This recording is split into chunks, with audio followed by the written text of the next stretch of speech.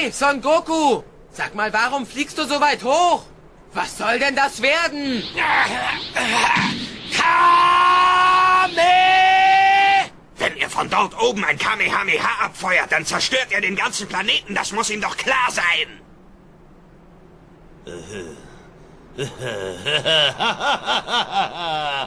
Das machst du doch nicht, sonst wird's der Erde schlimmer gehen. Und außerdem willst du doch bestimmt nicht freiwillig deine Freunde vernichten, oder? Oh nein, das meint er nicht ernst. Das kann doch nicht sein. Er will Cell sicher nur Angst machen. Das ist ein Witz, Son Goku. Tu's nicht. Kame!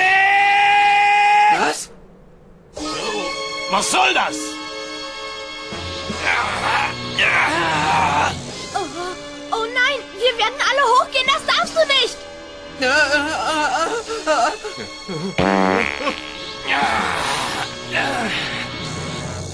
Will doch nicht etwa... Oh, das glaube ich nicht.